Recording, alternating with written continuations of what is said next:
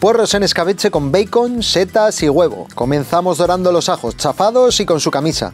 Añadimos unas rodajas de jengibre, limpiamos los puerros eliminando la parte verde y los cortamos en tacos gruesos. Añadimos los puerros a la olla y ponemos los líquidos, partes iguales de vinagre de vino blanco, vino blanco y aceite de oliva virgen extra. Ponemos también pimienta negra, salsa de soja y una hojita de laurel. Dejaremos que se cocine todo a fuego bajo durante unas dos horas. Después dejamos que se enfríe a temperatura ambiente y si queremos, los embotamos. Por otro lado, cortamos el taquito de bacon en dados y las setas en trozos pequeños. Doramos las setas y el bacon en una sartén con una ramita de romero fresco hasta que quede todo bien crujiente. Además, hacemos unos huevos a la plancha con muy poquito aceite de oliva virgen extra, tapando para que se cocine bien la clara y la yema quede jugosa y temblorosa. Para emplatar servimos los puerros escabechados cortados en trocitos pequeños, de bocado. Encima el dorado de setas y bacon, más trocitos de puerro, más setas con bacon. ¡Que no pare la fiesta!